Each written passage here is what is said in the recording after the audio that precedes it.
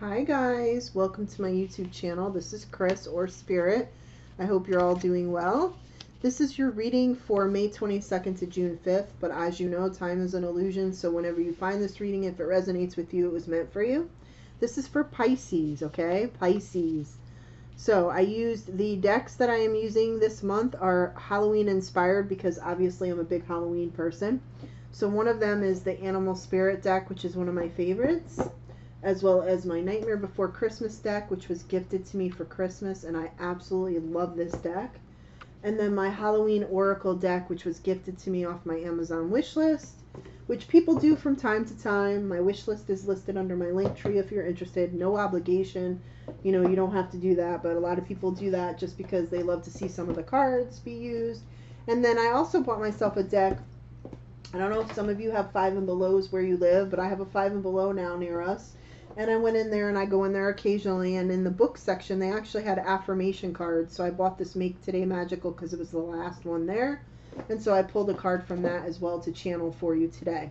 So let's get to your reading. I'm going to flip it over and then we are going to get into your reading. And then I will flip the animal card over at the end. So let's see what we have for you, Pisces, what messages we have for the collective. So I'm getting a lot of witchy, spiritual, star seed energy. So for the group of the collective that are watching this, you're very awoke, you're very intuitive, and you're very much in the realm of this. You know, I know this is a funny magician card, but this is about being both male or female, doesn't matter what energy.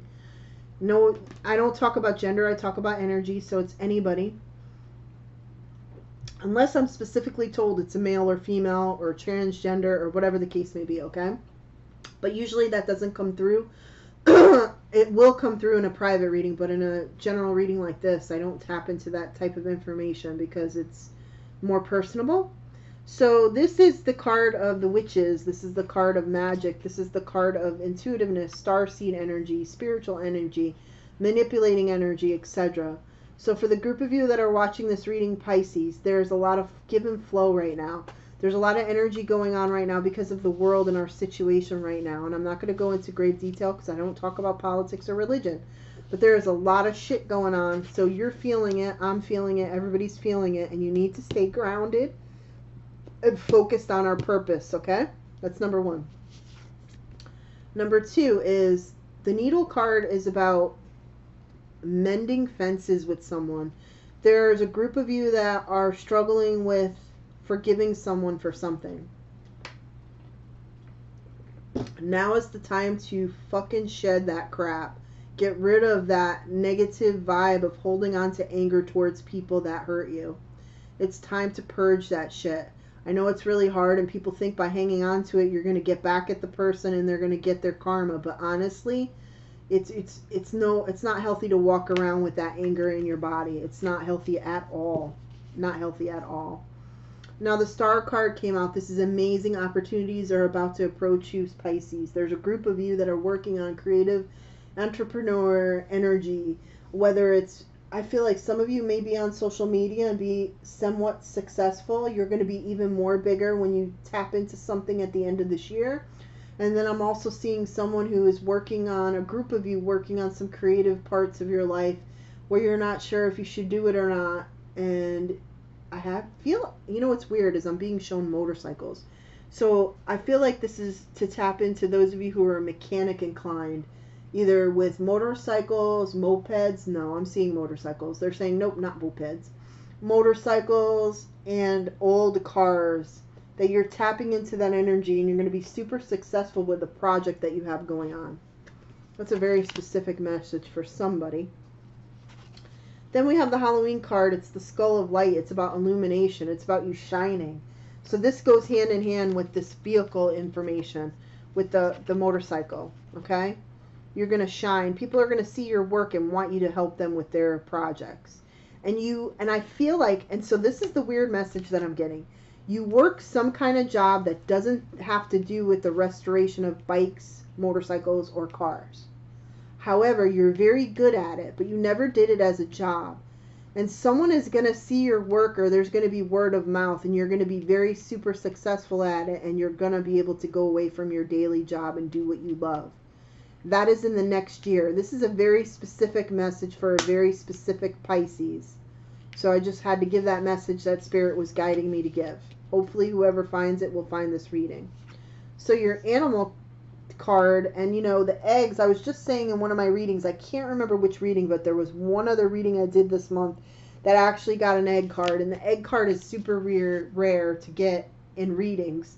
Um, I think I've gotten two of them in my private readings and one in YouTube or two in YouTube. So this is the cosmic egg, and I will share with you that information because it goes hand in hand with some special messages. Okay? Completion, harmony, the infinite with the finite. Okay? So this is why I said at the beginning of this, this is for the witches, star seeds, and empaths, people like me. Okay? That's why this is super important for you to pay attention. The cosmic egg is the final card in the journey of the animal spirit deck, and it represents the unfolding of cosmic consciousness.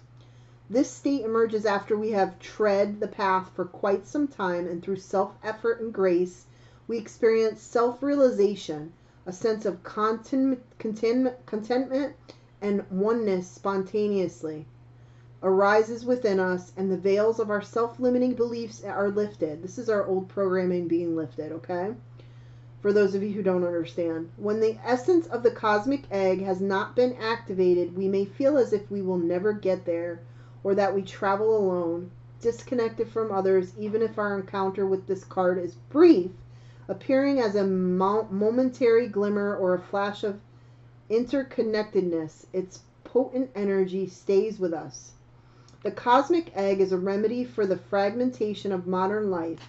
It's through the power of this card that we are reminded of the cosmic contract written at the beginning. We hold on to life and life holds on to us. The journey is complete, but it does not end. So the cosmic egg is connected to the seventh chakra. The subtle essence of the cosmic egg egg resides at the crown chakra at the top of the head called Sahasrara, okay?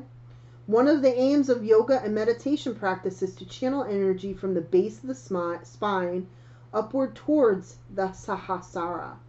Each of the six lower chakras plays an important role along this journey, and once the final epicenter of consciousness is activated, it is said to radiate the light of a million suns.